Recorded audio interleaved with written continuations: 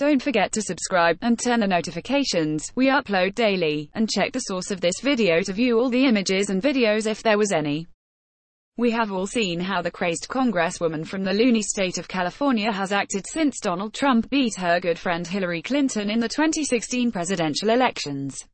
From calling for President Trump's impeachment for no valid reason to even going as far as calling for people to violently harass anyone who is involved with the Trump administration. A few months ago she even told a group of her supporters in California that they need to start showing up wherever Trump administration officials show up. And if they see anybody from that cabinet in a restaurant, in a department store, or at a gasoline station, to get out and create a crowd in order to push back on them. And you tell them they're not welcome anymore, anywhere. We've got to get the children connected to their parents, she continued but yesterday, for Maxine Waters' 80th birthday the Daily Caller reported that in typical President Donald Trump fashion, he struck back in the best way he knows how. President Trump frequently refers to Maxine Waters as the leader of the Democrat Party, especially after she told people to start harassing and violently confronting those in his administration. But here is the most interesting fact about good old Auntie Maxine, as the foolish voters in her district call her.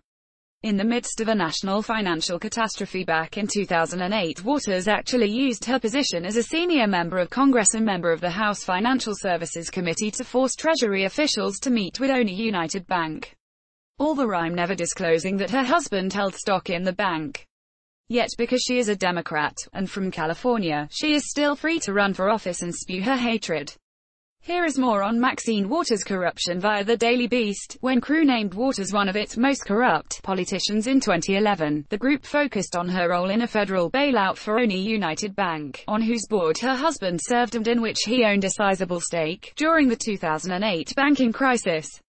Waters arranged a meeting with the Treasury Department at which OneUnited representatives sought federal bailout money.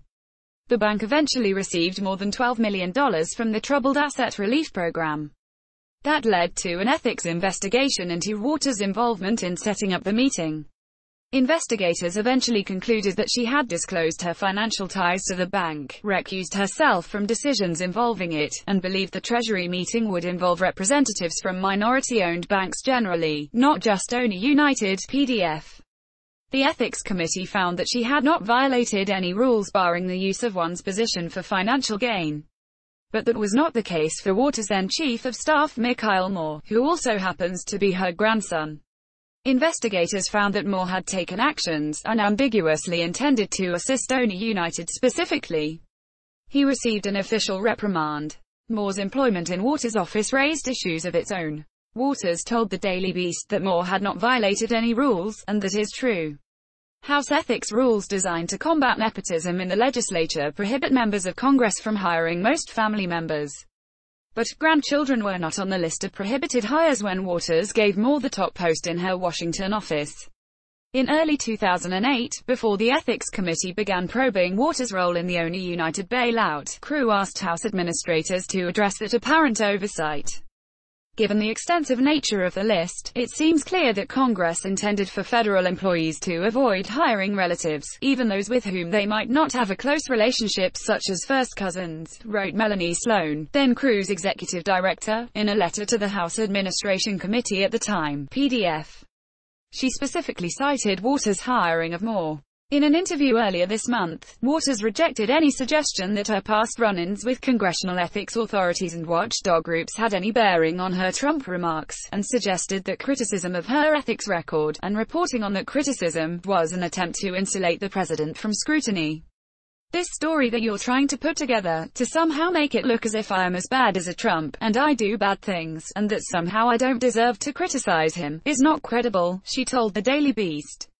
I'd like you to think about what you're doing and why you're doing it and I'd like you think about whether or not you're trying to maybe protect the president somewhat, cleanse him a little bit, make him look a bit better, to make it look as if other people don't have the right to point these things out about to him and other people who you make it look as if they have the same kinds of problems, Waters added. I want you to think about this and think about whether or not this is a story you really want to do. She denied any equivalence between her own past ethical controversies and those dogging the president. If you're trying to compare me with Trump, it's totally different, Waters said. Pay to play. Moore is not the only Waters family member to benefit from the congresswoman's position. Waters' daughter Karen has pulled in nearly $650,000 for running a slate mailer operation for Waters' campaign that ethics groups have described as an end run around campaign finance limits. For a fee of between $250 and $45,000, candidates and political groups can get Waters' official backing. The fee earns them a spot on the slate mailers, campaign mailers that promote Waters' allies who pay her campaign committee for those mailers. Karen Waters runs the Slate mailer operation, and her consulting company is paid to manage it. All of that money, from endorsee fees, goes into the production of the Slate mailers, and she is paid for doing that, a very nominal fee when you compare it with the campaign consultants in Los Angeles, Waters told the Daily Beast of the practice. She stressed that the slate mailers are entirely above board legally. Waters sought and received official approval for the slate mailers from the Federal Election Commission in 2004, but as with her employment of a family member, ethics groups say the issue isn't strict legality so much as the spirit of applicable campaign rules. President Trump is right. If you combine her rhetoric, along with her unethical behavior, she embodies everything the Democrat Party of today stands for.